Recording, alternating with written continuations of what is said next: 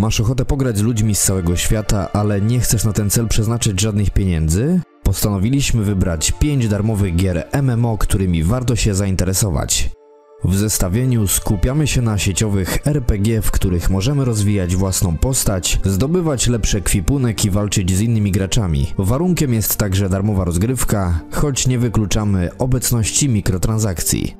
Linki do pobrania wszystkich omawianych tytułów znajdziecie w opisie pod filmem.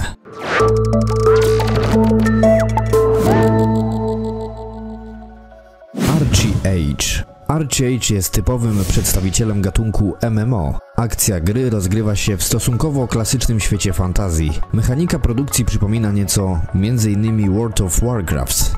W grze dostępne są cztery rasy podzielone na dwie strony konfliktu. Każdy gracz posiada również alternatywę w postaci porzucenia sojuszu i dołączenia do piratów. W Archie Age nie ma typowych klas postaci, każdy gracz może stworzyć własną, wybierając 3 z 10 dostępnych szkół walki. Łącznie dostępnych jest zatem aż 120 różnych kombinacji. Neverwinter. Kolejna propozycja to gratka dla fanów Dungeons and Dragons. Gra bazuje na czwartej edycji wspomnianego systemu, przenosząc nas do dobrze znanego świata fantazji. Fabuła toczy się nieopodal tytułowego miasta Neverwinter. Rozgrywka stawia przede wszystkim na kooperację.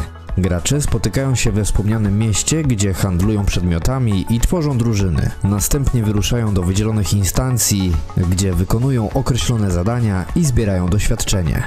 Do dyspozycji użytkowników jest 5 klas postaci. Wśród nich znajdziemy wojownika, czarodzieja, łotrzyka, kleryka oraz łowcę. W każdej drużynie musi się znaleźć 5 postaci. Jeżeli brakuje chętnych wśród graczy, są oni zastępowani przez sztuczną inteligencję.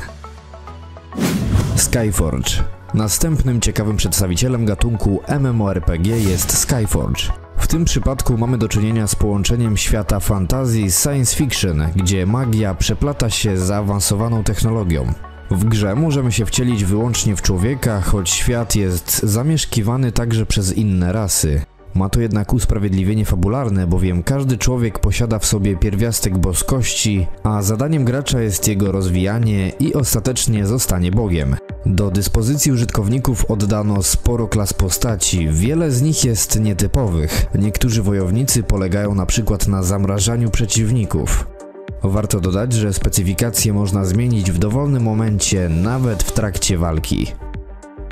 Rift Zwolennicy klasycznego fantazji powinni zainteresować się Riftem.